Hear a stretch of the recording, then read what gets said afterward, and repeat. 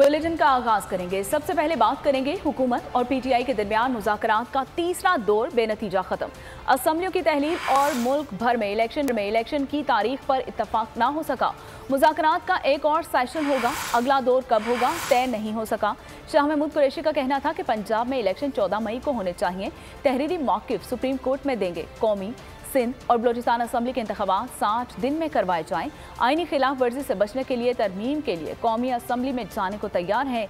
इसहाक डार का कहना था कि दोनों जानब से लचक का मुजाहरा किया गया। अपनी अपनी क्यादत से मुशावरत करेंगे, मजीद बात होगी।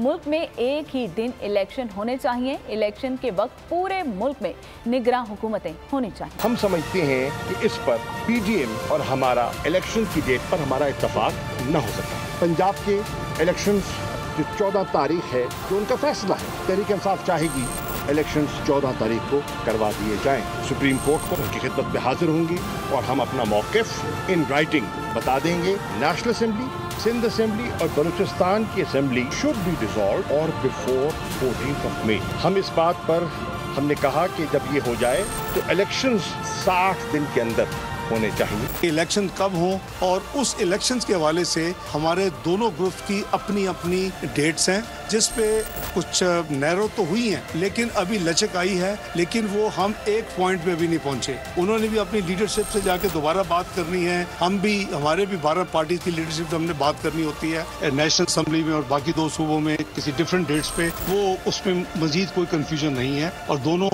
जो साइड्स हैं, इस बात पर इतफाक कर चुकी हैं कि एक ही दिन मुल्क में इलेक्शन बेहतरी है। बिल्कुल पूरे मुल्क में इलेक्शन एक्ट बीस सत्रह के हवाले से भी और आइन के हवाले से भी पूरे मुल्क में जब इलेक्शन हो तो केयर टेकर गवर्नमेंट हवाए नफ्स की है हुक्मरानी लुटेरा कर रहा है पासबानी। बोल न्यूज़ के मार्केटिंग हेड आकाश राम ताहा लापता। तफ्तीशी इदारे जवाब देने से कासिर। अहले खाना परेशान बेटे की जुदाई में माँ गम से निढाल। जो बच्चो हिंदू पर आए थे जो पाकिस्तानी मूंखे महिरबानी करे पंहिंजो आकाश वापस कयो अमरीकी सेनेट में कांग्रेसमैन की आकाश राम के अगवा के खिलाफ पुरजोर मुजम्मत about uh, some of the terrible disappearances, some of the abuses of human rights in Pakistan. United Nation ने भी आकाश राम की बाजियाबी के लिए मौसर इकदाम उठाने का इंदिया दे दिया। मुश्किल की इस घड़ी में आर्मी मीडिया समेत इंडियन मीडिया भी चीख चीख कर आकाश राम की बाजियाबी के लिए आवाज़ उठा रहा है।